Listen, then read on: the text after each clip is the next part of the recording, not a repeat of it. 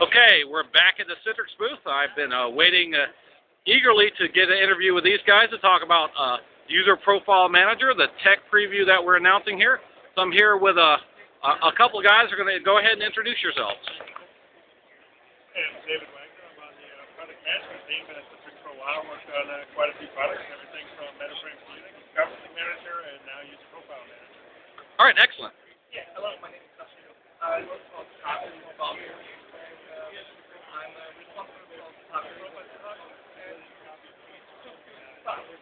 All right, excellent. So you guys here are talking about the uh, announcement that was announced today of Citrix doing a acquisition of the technology for Sepago for profile management. All right, so you know what's important to the customers. I mean, a lot of people know profiles are a pain. So let's just boil it right down. What's important to customers about profile management? Well, I mean, one of uh, the critical things is the consistency of it, because the user pain is seen as pain. So anytime the user favorite or theme, any of their settings, Outlook signature, it just aggravates. You know, So more help desk costs, more costs.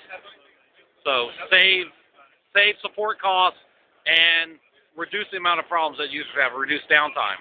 Right. Firstly, most importantly, to make sure when the user gets a published application, that whatever their settings are, whatever their signatures are for email, that information travels with them no matter where they use the application. So it in many ways it reduces the risk of using a centralized environment as well. Makes it more transparent. You want Right. transparent. Otherwise, you've got the big red flag that says, my signature's gone, I must be on a different kind of application. All right, so let's see what you're showing here in the booth.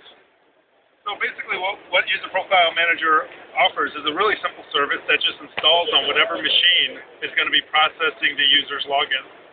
So it's called the Citrix User Profile Manager. You install that, it runs, and it basically watches for users to log on and log off.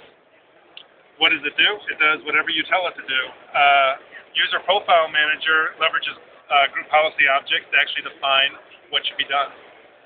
This is where you tell it, you know, what folders should it watch for, you know, what uh, registry settings it should track.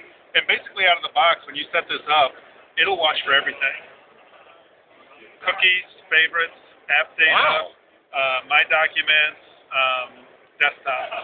And really, it's built to work with folder redirection. So you can use folder redirection on kind of the easy things, my doc, desktop, and things like application data that tends to carry a lot of extra baggage. Right. You use this to actually, you know, instead of using folder redirection, you use this to say, I only want these folders, or I want you to exclude these folders. So this runs as a service, and a lot of the all the settings come through group policy objects.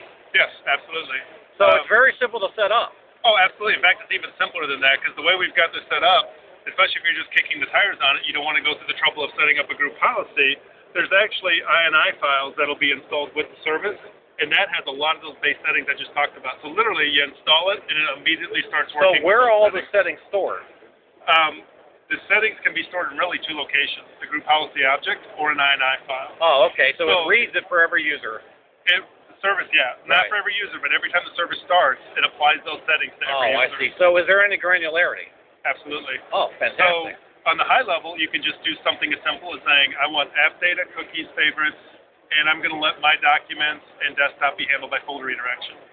Then all of a sudden you realize that, wow, app data is pulling a lot of extra files from some application that's got hundreds of megabytes. So you can go in there and say, well, exclude that directory or exclude those files. And so from then on, when the user logs off, it'll just leave those behind. It won't drag So them with what's the, the impact profile. on profile size? Um, well, if you're excluding files that are carrying a gigabyte of extra information, you just cut your profile Wow. by a gigabyte. All right. And uh, the other question is, you know, what's the impact on login times? Um, again, it's going to be a function of how long um, it takes your profiles to load. By optimizing your profiles and only carrying the information that you need, instead of having to wait for a profile to load all the information, you tell I only want this information. So you So- can really slenderize So the there's some size. substantial benefits potentially, Oh, depending on your environment. Imagine, imagine that app data folder that has 100 megabytes that you don't need to carry with you. So what? When is this going to be available, and how is it going to be packaged? If you know that yet. Um, a lot of that information is still to be decided. and A lot of that is what we're discussing with partners and customers. But the technology preview is available today. So you can go out to citrix.com slash UPM Profile Manager, and it's got a technology FAQ with links to uh, one of the sepago white papers, has links to the download, and it points to the uh, support forum. And it's just a My download. So once you log in, you'll see it there. All right, thank you so much, guys.